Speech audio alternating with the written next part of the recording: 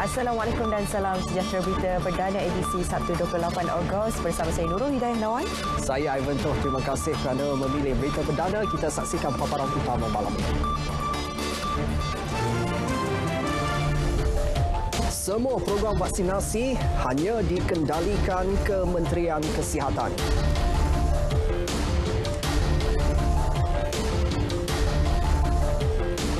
Angkat berat Paralimpik Tokyo gembirakan keluarga Malaysia.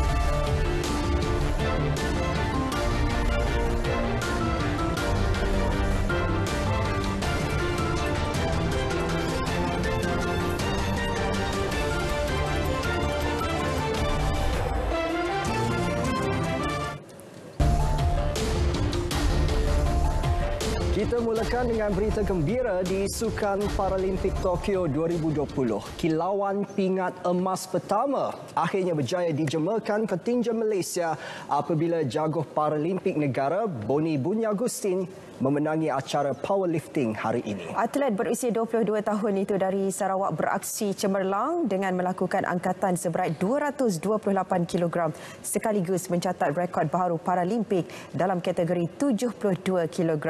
Menurut Boni, kejayaannya ini merupakan satu hadiah paling bermakna buat seluruh rakyat Malaysia sempena Hari Kebangsaan ke-64. Selain gembira dengan pencapaiannya itu, Boni turut berharap kemenangan tersebut dapat dijadikan dijadikan pembakar semangat buat rakan seperjuangan yang lain di Tokyo ketika ini. Bagi saya ni memang tingkat ni memang agak memang sangat-sangat penting. Sebab ini pun kali pertama saya pergi ke Paralimpik dan juga saya membuat persembahan yang terbaik. Ini adalah memang memang kenangan kenangan manis lah bagi saya. Dan juga untuk menghadiahkan kepada Hari Kebangsaan kita selama Hari Merdeka Boni memulakan aksi dengan cemerlang apabila melakukan angkatan seberat 217 kg di percubaan pertama, 225 kg bagi percubaan kedua dan 228 kg bagi percubaan ketiga. Dalam percubaan keempat, Boni cuba untuk memecahkan rekod dunia miliknya dengan angkatan 231 kg namun tidak berjaya. Bagaimanapun catatannya 288 kg tetap berjaya memecahkan rekod temasya sebelum ini yang dipegang atlet Iraq Rasmussen dengan catatan 227 kg ketika di Paralimpik Rio 2016. Pingat perak acara berkenaan diraih Mahmud Atia dari Mesir yang melakukan angkatan seberat 191 kg manakala gangsa menjadi milik atlet dari Britain dengan angkatan 182 kg. Sementara itu, jurulatihnya Jamil Adam berkata disiplin dan komitmen tinggi dipamerkan Boni selama ini merupakan kunci kejayaan atlet kelahiran Sarawak itu. Bagi saya, dia telah buat yang terbaik untuk dia. Dan salah satu sikap dia yang saya agak suka is a, a very, kata kita, highly spirit and, and, and kita, dia tak gentar walaupun siapa pencabar dia sama ada World Ranking atau Paralympic Ranking dan dia bercita-cita untuk mencapai sesuatu yang tinggi dan dia willing to give 100% commitment untuk mencapai sasaran dia. Selain Boni, Malaysia turut mempunyai seorang lagi wakil dalam acara powerlifting, Jong Yi Ki yang akan turun beraksi dalam kategori 107 kilogram. Kejayaan Boni yang menghadiahkan pingat emas pertama buat Malaysia turut menerima ucapan tahniah daripada Perdana Menteri Datuk Seri Ismail Sabri Yaakob. Menurut Datuk Seri Ismail Sabri, beliau amat berbangga dengan kejayaan Boni yang telah membuatkan lagu Negaraku berkumandang di bumi Tokyo, Jepun. Selain itu, pemandangan bendera jalur gemilang yang berkibar di temasya sukan para terbesar dunia turut menjadi momen paling berharga buat seluruh rakyat Malaysia. Datuk Seri Ismail Sabri turut memberi penghargaan kepada para jurulatih dan semua atlet kontingen Malaysia yang sedang berjuang di Paralimpik Tokyo 2020. Ucapan tersebut dibuat menerusi hantaran di laman media sosial Facebook, Instagram dan Twitter.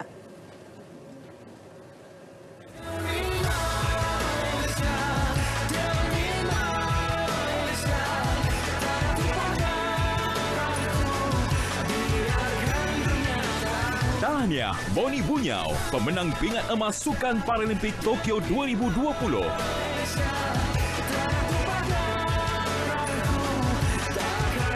Syabas daripada RTM.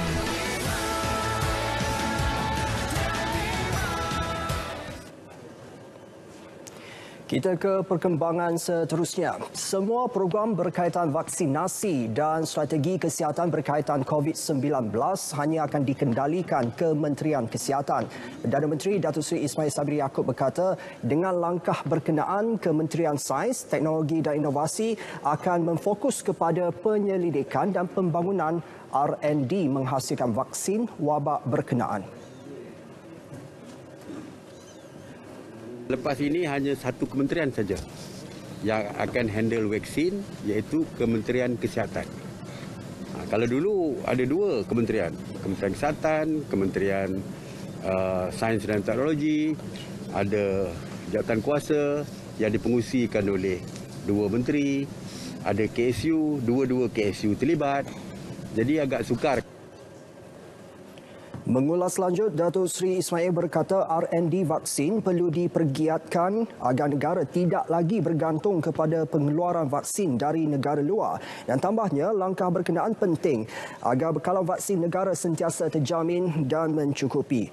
Ditanya sama ada kerajaan berhasrat mewajibkan pengambilan vaksin selepas ini, Katanya ia mungkin diwajibkan jika masih ramai yang enggan menerima vaksin kerana dibimbangi individu yang tidak divaksin boleh menjangkiti orang lain.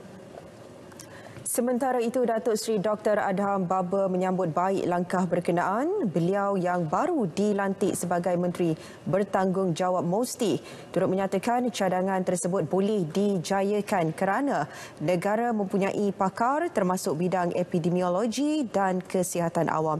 Beliau juga dijadualkan membuat lawatan ke sebuah kilang isi dan selesai fill and finish vaksin Cansino di Kuala Lumpur.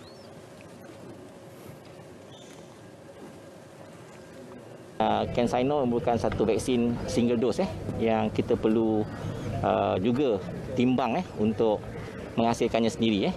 Jadi untuk itu uh, kita rasa uh, di peringkat kita di sini ni, uh, negara kita, uh, saya ulangi lagi bahawa uh, kita memiliki memiliki keupayaan eh, dan kita juga akan membuat uh, uh, bilateral eh, uh, arrangement dengan negara-negara lain ya yang mana telah pun berjaya eh, menghasilkan vaksin-vaksin sebelum inilah. Beliau mengulas mengenai perkara itu selepas mengadakan lawatan di Taman Kota Jaya, Kota Tinggi, Johor.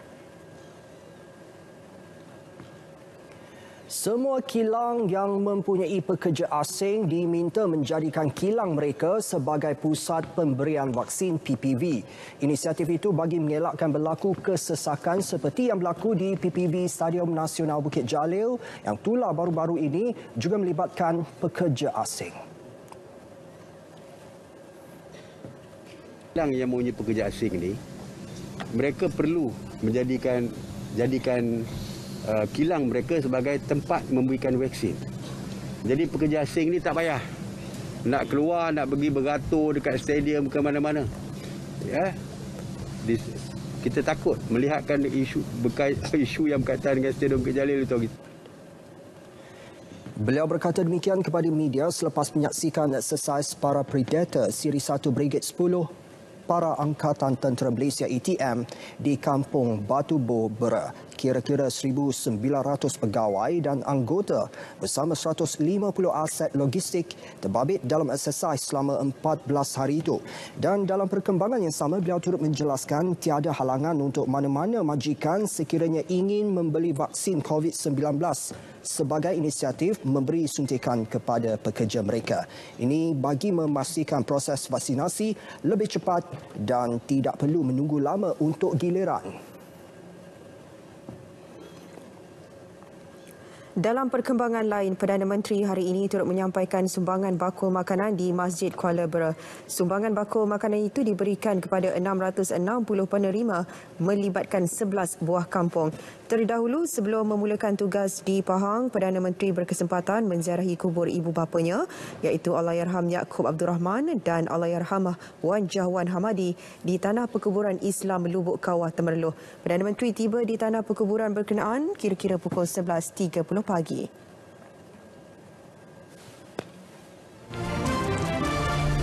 Dos tunggal vaksin COVID-19 ternyata memudahkan urusan vaksinasi di kawasan yang berdepan masalah logistik. Laporannya seketika nanti. Terus setia bersama kami dalam Berita Perdana.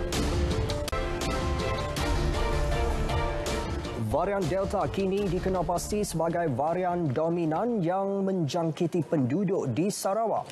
Perkara berkenaan disahkan menerusi laporan terkini Pengarah Institut Kesihatan dan Perubatan Komuniti IHCMUMS Profesor Dr. David Pereira kepada Pengerusi Jawatan Kuasa Pengurusan Bencana Negeri JPBN Dato' Amar Douglas Unggah Embas.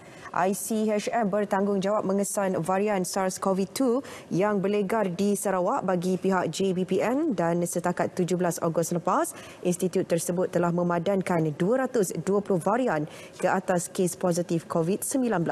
Menurut Dr. David, 179 variant of concern VOC dan variant of interest VOI dikesan daripada spesimen tersebut. Daripada jumlah itu, 178 merupakan varian Delta dan satu VOI Indonesia yang dikesan di Bintulu.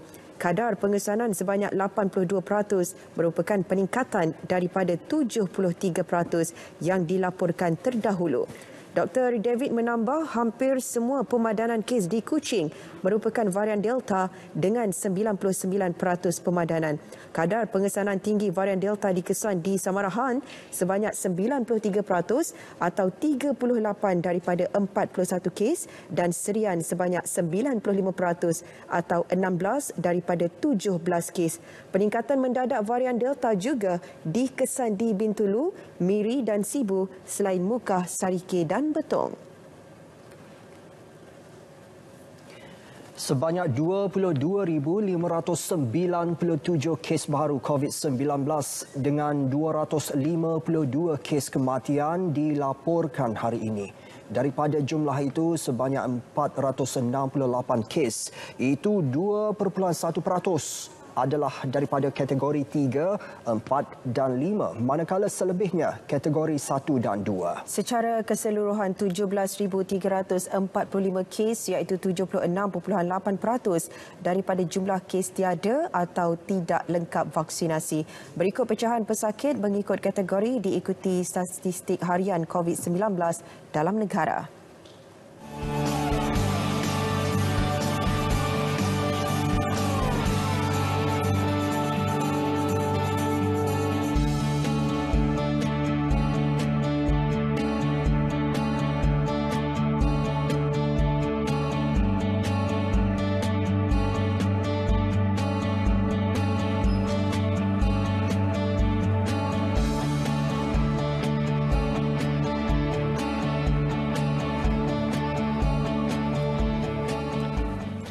Lebih 14.29 juta individu atau sebanyak 61.1% populasi dewasa telah lengkap menerima dua dos vaksin COVID-19 setakat semalam. Pada masa sama, 19.09 juta individu atau 81.5% sudah menerima dos pertama menjadikan jumlah kumulatif pemberian vaksin setakat semalam sebanyak 33.38 juta dos. Ya, 58.5% daripada jumlah populasi keseluruhan negara mendapat dos pertama manakala 43.8% lagi lengkap dua dos. Berikut data harian vaksinasi mengikut negara negeri.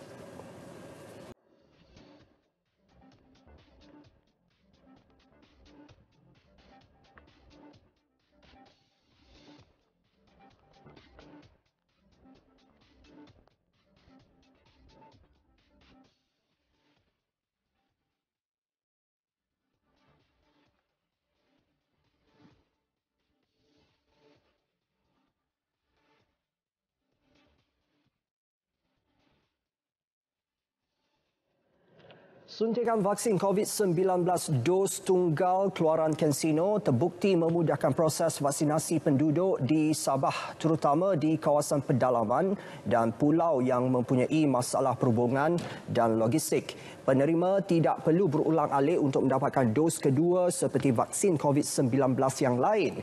Pegawai Perubatan Klinik Kesihatan Tawau, Dr. Nur Sazrah Najwa Zaini berkata vaksin dos tunggal berkenaan juga memudahkan petugas Kementerian Kesihatan di PPV kerana mereka tidak perlu bergerak jauh ke tempat sama bagi memberikan suntikan kedua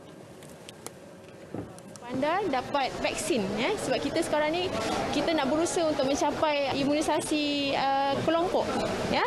Supaya kita nak mengelakkan daripada penularan yang lebihlah selepas ni. Beliau ditemui pada program outreach vaksinasi COVID-19 Pulau Sebatik di Dewan Seri Tamang Pulau Sebatik Tawau. Sementara itu, Adun Sebatik Hasan Egani Pengiran Amir berkata seramai 800 penduduk disasarkan untuk divaksinasi menerusi dua PPV yang dibuka di pulau itu iaitu di Dewan Terbuka Mentadak dan Dewan Seri Tamang. Setakat kemarin, seramai 899 penduduk di Sorodong Laut Kalabakan, Sungai Puko dan Begosong, Pulau Sebatik telah menerima vaksin kansino.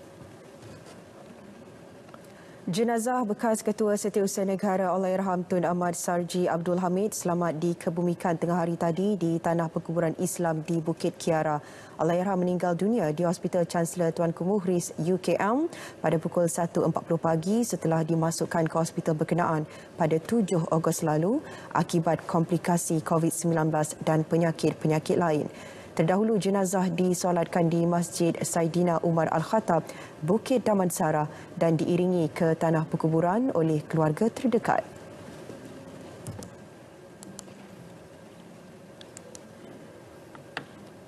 Daripada dulu dia memang uh, selalu pesan kat saya dan semua ahli keluarga agar semayang jangan jangan tinggal. 21 hari saya. 4 hari sebelum masuk ICU dia tekan dia pernafasan tu semakin susah untuk dia nafas jadi dia masuk ICU Allahyarham menjadi Ketua Setiausaha Negara dari tahun 1990 sehingga 1996 dan merupakan pengasas Institut Kefahaman Islam Malaysia dan dilantik menjadi pengerusi yang pertama pada tahun 1992.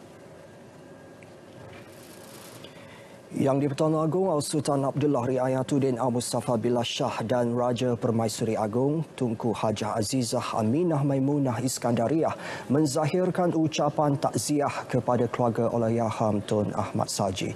Sri Paduka berdua turut menzahirkan rasa sedih dengan pemergian Allahyarham dan menzahirkan harapan agar seluruh keluarga sabar serta tabah menghadapi dugaan. Sri Paduka berdua mendoakan agar roh Allahyarham dicucuri rahmat dan ditempatkan bersama para solihin. Baginda berdua amat menghargai dan menyanjung tinggi khidmat bakti, jasa serta pengorbanan Allahyarham kepada negara. Pemergian Tun Ahmad Sarji juga disifatkan Perdana Menteri sebagai kehilangan besar buat negara. Datuk Seri Ismail Sabri Yaakob berkata, negarawan ini merupakan tokoh pentadbir perkhidmatan awam yang amat dihormati dan disegani. Allahyarham cukup sinonim dengan pelbagai usaha mempertingkat imej dan kecekapan tadbir urus perkhidmatan awam. Bersama berita perdana, mulai malam ini COVID itu benar. CIB kembali menemui anda eksklusif di berita perdana itu setiap hari Sabtu. Paparan malam ini akan merungkai aspek kesan langsung COVID-19 kepada kesihatan mental. Ya, kupasan realiti dan bagaimana mendepaninya, kita bersama Andy Reza Rohadian. Polis akan mengeluarkan notis tawaran kompani. Itu antara mesej sepanjang tempoh kita digunakan kesakitan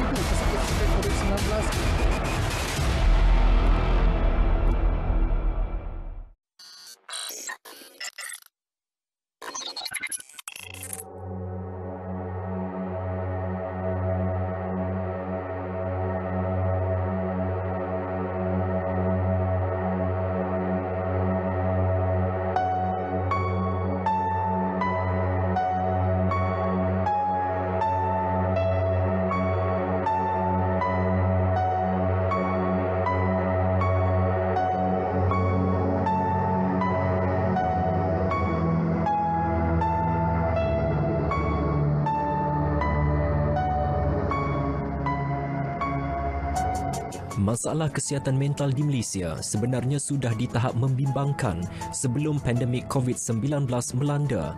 Tinjauan Kesihatan dan Morbiditi Kebangsaan NHMS pada 2015 mendapati satu daripada tiga individu berusia 16 tahun ke atas menghidap beberapa jenis masalah kesihatan mental. Pakar kesihatan menjangkakan penyakit mental akan menjadi masalah kesihatan kedua tertinggi di Malaysia menjelang tahun 2020.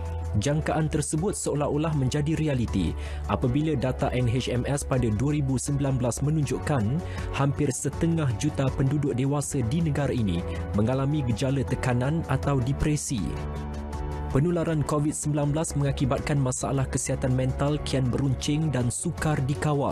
Situasinya tidak ubah seperti peribahasa, bagai getah dibawa ke semak. Tidak dinafikan, sekatan pergerakan memang perlu dilaksana. Masyarakat tidak boleh ke sana sini untuk mengelak virus menular. Bagaimanapun, perubahan mendadak dalam rutin hidup ketika pandemik telah menjejaskan kesihatan mental sebilangan masyarakat. Individu terkesan bakal berdepan suatu keadaan yang dipanggil maladaptasi, iaitu sebuah proses adaptasi yang dipaksakan. Ia menyebabkan perubahan ketara dalam personaliti dan pelakuan seharian individu berkenaan. Yang kedua adalah isu-isu yang berkaitan dengan masalah tidur, isu-isu yang berkaitan dengan masalah selera makan, isu-isu yang berkaitan dengan uh, masalah berat badan menurun secara mendadak maupun ataupun meningkat secara mendadak. Uh, mereka-mereka yang kelihatan gelisah mereka-mereka yang mengelak daripada berjumpa orang ramai ataupun mengambil keputusan untuk uh, menyendiri ataupun berkurung dalam bilik mereka-mereka yang gagal untuk mengawal kemarahan maupun uh, mereka yang terlalu sensitif Sejak 25 Mac 2020, iaitu seminggu selepas pelaksanaan PKP pertama hingga 21 Mei tahun ini, lebih 145,000 panggilan bantuan psikososial diterima KKM, 85.5% membabitkan isu kesihatan mental. Ramai sudah tidak boleh tutup mata dengan tekanan akibat terlalu lama duduk di rumah. Jangan terkejut, Hal yang dianggap kecil seperti menanggung rindu sebenarnya sudah mampu menjejaskan kesihatan mental seseorang. Apatah lagi ketika berdepan cabaran lebih besar seperti kehilangan orang tersayang dan punca pendapatan ketika pandemik. Sebelum ni saya bekerja sebagai seorang pramugara. Tapi disebabkan COVID ni saya telah diberhentikan. Masa tu memang stres. Yalah, isteri saya tengah sadap mengandung, anak peranak lahir, anak yang pertama. Dan komitmen saya masa tu memang banyak. Jadi saya dah fikir dah, alamak, kerja dah tak ada. Manalah aku dapat duit ni, hari-hari saya stres. Saya terduduk, saya tak boleh nak fikir macam-macam. Dalam masa yang sama, tugas atau keperluan sebagai seorang ibu kena, kita kena monitor. Pembelajaran anak-anak dengan PDPR lagi, saya ada anak yang kecil yang mana menuntut perhatian saya sebagai seorang ibu. Dalam masa yang sama workload daripada pejabat pun saya perlu uh, siapkan. Kadang saya rasa saya pun dah burn out sebab uh, stres badan cepat dia kena emosi uh, apa mudah terganggu mudah nak jadi marah Tekanan melampau dan berpanjangan boleh menjejaskan kesihatan mental.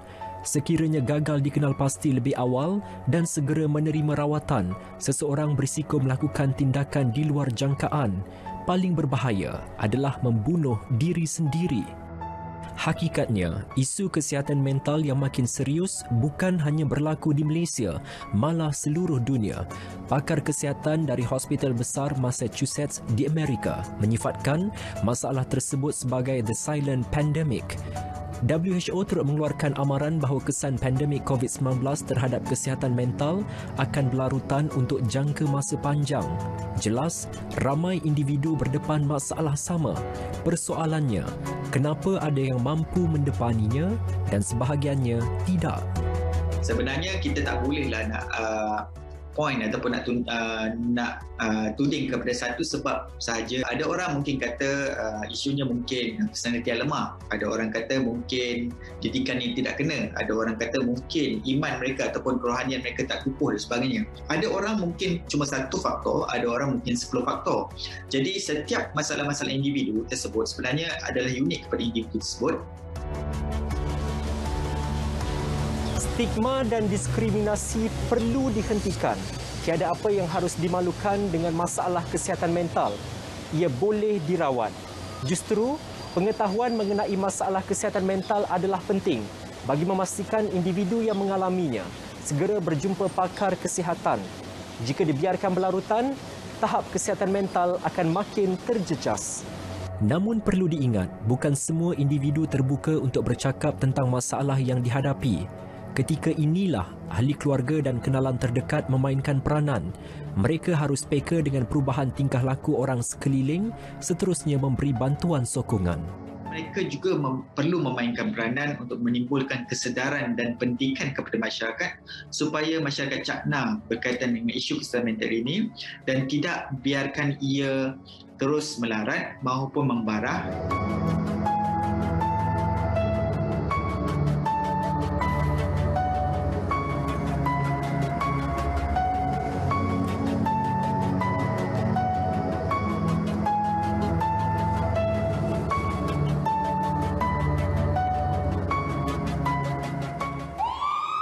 Polis akan mengeluarkan notis tawuran kompak. Itu antara mesej yang kita lalui hari-hari sepanjang tempoh PPKM datang. Membantu pesakit-pesakit COVID-19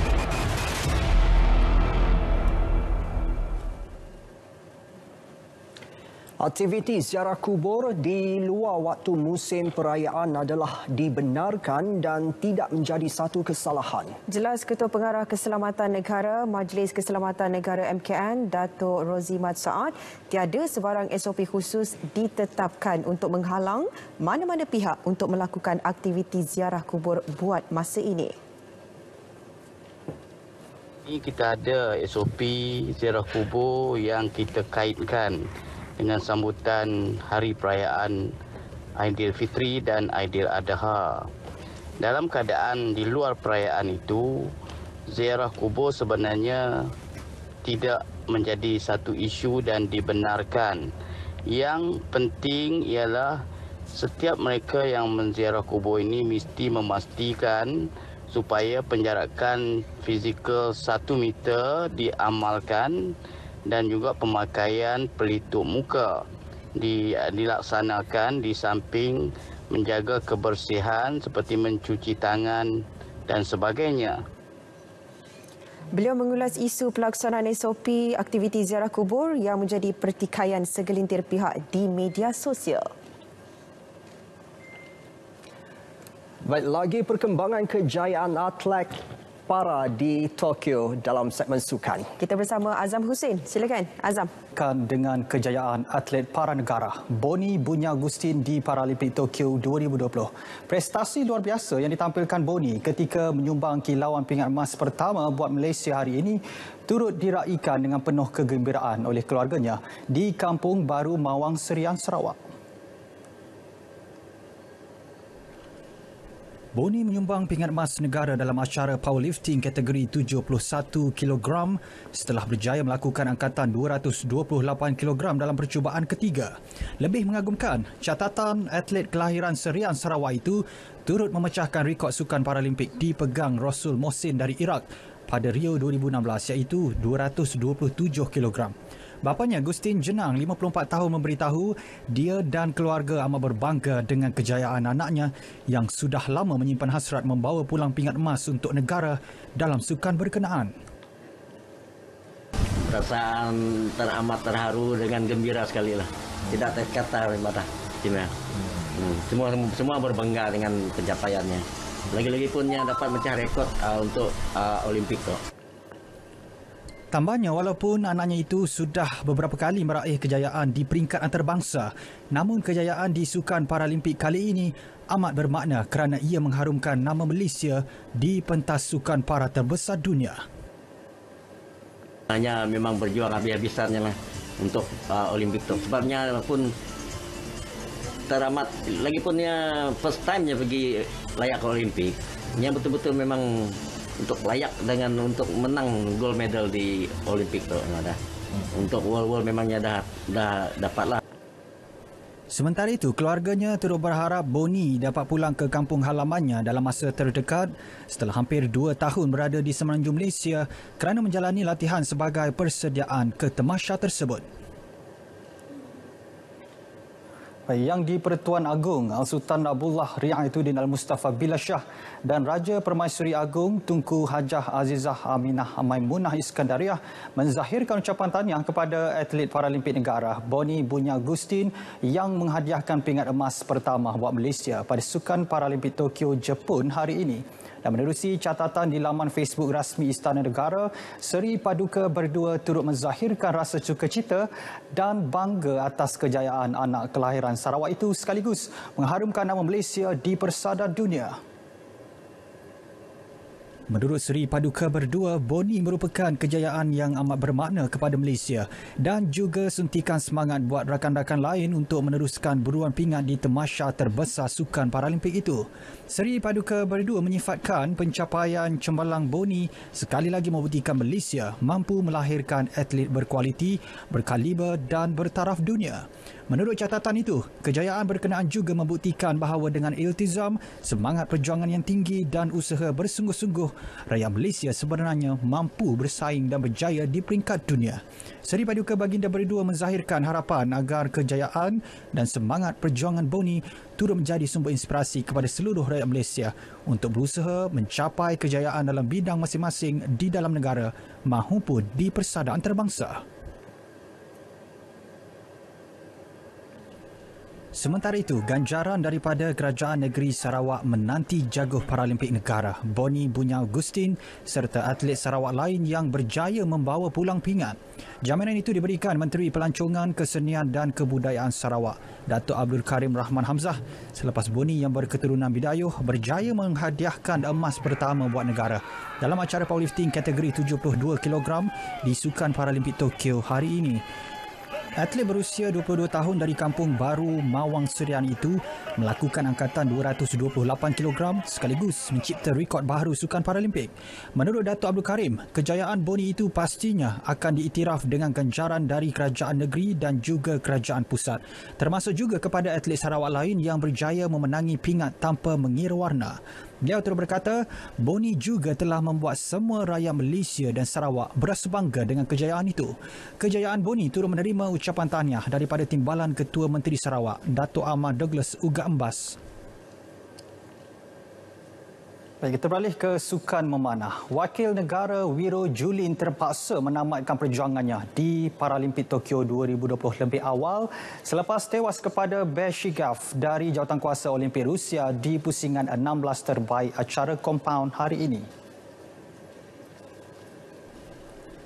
Pada aksi tersebut, Wiro tumpas 5 set dengan mengumpul 126 mata keseluruhan. Namun atlet berusia 27 tahun dari Sarawak itu tetap berjaya memperbaiki catatan peribadinya ketika aksi penentuan ranking apabila mengumpul 24 mata di set pertama. Diikuti 25, 24, 27 dan 26 mata. Shigef pula mencatat 26, 28, 29, 26 dan 27 mata sekaligus menjadikan jumlah keseluruhan sebanyak 136 mata mengatasi Wiro. Aksi seterusnya bagi sukan memanah bakal menyaksikan seorang lagi wakil negara S. Suresh akan turun beraksi dalam acara recurve pada 3 September ini di lapangan memanah Yuminoshima, Jepun. Atlet boccia para negara Chiu Wei Lun memulakan aksi kumpulan dengan langkah kanan selepas mudah mengatasi lawan dari Brazil Andreza Vitória de Oliveira. Pemain nombor 11 dunia itu menewaskan lawannya yang berada di ranking ke-66 tersebut dengan keputusan 5-2.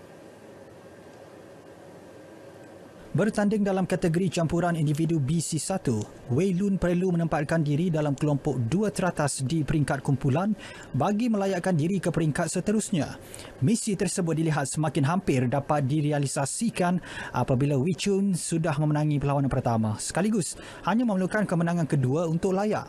Dia bakal menentang atlet Thailand Witsanu Huat Pradit dan atlet Korea Jung Sun Jun yang dijadual berlangsung esok ke perkembangan Liga Super. Tiada tandingan, itu ungkapan tepat yang dapat diterjemahkan buat pasukan Johor Darul Takzim JDT yang mengesahkan kejuaraan Liga Super kali ke-8 berturut-turut. Skuad Harimau Selatan itu menewaskan Seri Pahang FC 3-0 di Stadium Sultan Ibrahim Iskandar Putri Johor malam tadi. Sekaligus dinobatkan juara tak kala saingan masih berbaki dua perlawanan musim ini. JDT memulakan malam gemilang mereka dengan langkah kanan apabila mendahului 1-0 menerusi jaringan Boston da Silva seawal minit ke-7. Pemain import dari Brazil itu terus membuktikan reputasinya sebagai penyerang di geruni Liga Super apabila menjaringkan gol kedua pada minit ke-40 sebelum menyumbat satu lagi gol selang 4 minit kemudian. Ketua Jurulatih JDT, Benjamin Mora jelas sekali berpuas hati di atas kejayaan pasukannya yang merangkul gelaran juara Liga Super 2021. Yes, of course, these players that were not here helping the team of Pahang uh, helps us to maybe have uh, more opportunities to to play good football, to dominate the game, to play possession uh, as we like. Ikut pada keputusan memang uh, kita kecewa lah. Tapi dari segi persembahan saya puas hati lah dengan pemain uh, rata-rata pemain uh, simpanan dan pemain pada, presiden.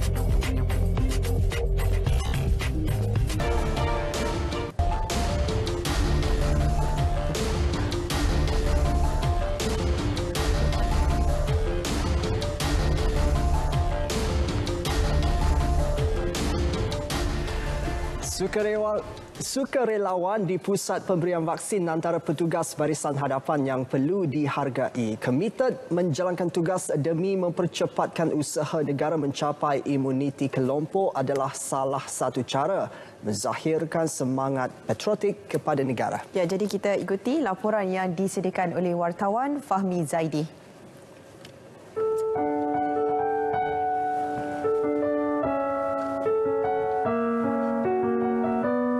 Saat orang lain memilih untuk berada di dalam rumah bagi membendung penyebaran wabak pembunuh itu, insan mulia ini sanggup bergada nyawa membantu kerajaan. Tidak mengenal erti penat lelah, mereka secara sukarela tampil membantu petugas barisan hadapan menjayakan program vaksinasi negara sekaligus membuktikan tanggungjawab sebagai seorang rakyat yang prihatin. Inilah peranan kami sebenarnya untuk membantu kerajaan Malaysia memastikan bentuk uh, kelompok imuniti di kawasan Lembah Kelang ini. Target kenapa kami semua JPA ini bersukarela untuk datang ke sini satu saja. Telah banyak negara bagi sumbangan kepada kami dan inilah masanya untuk kami memberi sumbangan kepada negara. Itu yang ditekankan kepada saya kepada semua rakan-rakan JPA kita. Pengorbanan rasanya saya dalam umur yang 54 ni saya rasa uh, ini adalah pengorbanan saya lah sebab selama ni saya tak pernah lagi berkhidmat untuk negara hanya bertugas untuk uh, company dan ini adalah cara terbaik saya lah untuk menunjukkan kasih sayang saya dan terima kasih kepada negara yang selama ini telah memberi banyak kepada saya. Woon Ze Chen, salah seorang sukarelawan di PPV berharap agar sumbangan bakti ini dapat meringankan beban petugas barisan hadapan tanpa mengharapkan apa-apa balasan. Saya rasa ini peluang yang baik untuk gunakan uh, tenaga saya, masa saya untuk berkhidmat ke, kepada negara. Sebagai, sebagai ahli muzik, kita biasanya kita buat penghiburan kepada orang. Uh, dalam masa kesukaran ini, selain buat uh, persembahan muzik, uh, I use my tenaga uh, masa untuk berkhidmat uh, kepada uh, rakyat dengan jadi sukarela di sini di vaksin center lah. Jadi kami memilih untuk berbakti. Um, lebih lebih-lebih lagi kebaikan tu kembali kepada diri kami masa kami terluang dengan uh, cara yang baik kami tak uh, murung di rumah kami gembira dengan kawan-kawan dan kami dapat jumpa uh, semua penerima-penerima vaksin dari semua peringkat umur dari semua kalangan masyarakat tak kira tua muda bangsa agama Semangat cinta pada negara bukan sekadar hanya mengibar jalur gemilang semata-mata. Sama-sama kita berganding bahu membantu kerajaan dalam menangani krisis pandemik COVID-19 ini. Mereka tampil memberikan bantuan dan sokongan tanpa mengira kaum dan agama. Wira-wira ini bertekad demi kesejahteraan negara. Mengambil semangat tema Hari Kebangsaan tahun ini iaitu Malaysia Prihatin, sama-sama kita sematkan dalam ingatan untuk memperkukuhkan lagi semangat perpaduan, kesejahteraan dan keharmonian negara. Selamat menyambut Hari Kebangsaan ke-64. Fahmi Zaidi, Berita RTM. Saya Muhammad Zaidi bin Karim uh, ingin mengucapkan selamat Hari Kebangsaan yang ke-64 kepada rakyat Malaysia. Kami, petugas bukan kesihatan PPV KLCC ingin mengucapkan Selamat Hari Kebangsaan ke-64. Merdeka! Merdeka! Merdeka! Merdeka!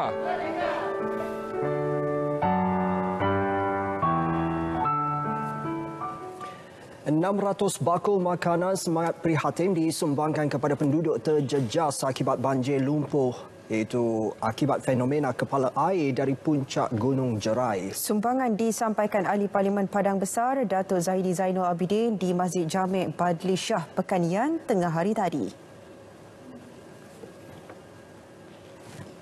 Dan ini merupakan satu semangat semangat uh, keluarga Malaysia yang di uh, uh, wawarkan oleh Perdana Menteri supaya kita dapat bersama-sama semua peringkat dapat bersama-sama membantu jika ada keluarga kita terjejas dengan malapetaka sedih ini dan kita harap banyak lagi sumbangan yang akan sampai ke sini untuk membantu. Pihaknya bersama sukarelawan daripada Universiti Teknologi Mara UITM turut melakukan gotong royong membersihkan kediaman penduduk.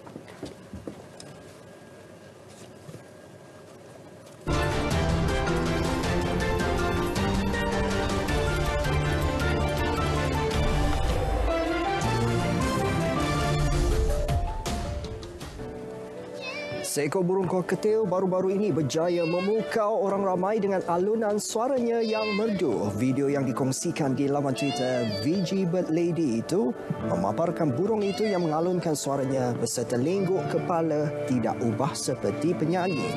Video tersebut berjaya menarik perhatian seorang ahli muzik yang memutuskan untuk berduet dengan burung bernama Mushroom itu.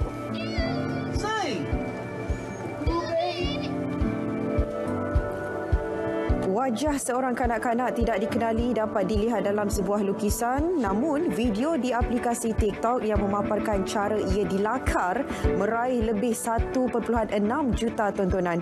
Pelukis berusia 30 tahun Muhammad Roshaimi Abdul Faiz Jailani berkata lakaran conteng-conteng secara spontan. Setiap karya contengannya mengambil masa kira-kira setengah jam.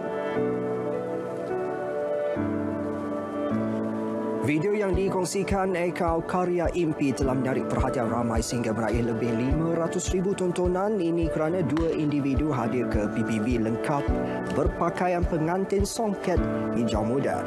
Pasangan berkenaan ternyata berjaya mencuri tumpuan petugas Barisan Harapan dan penerima vaksin yang lain.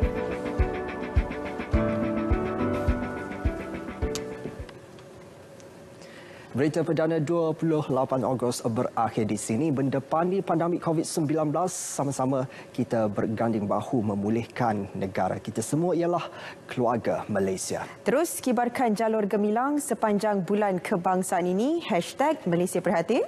Hashtag Demi Negara. Hashtag Menang Bersama. Dengan ini, Assalamualaikum. Salam sejahtera.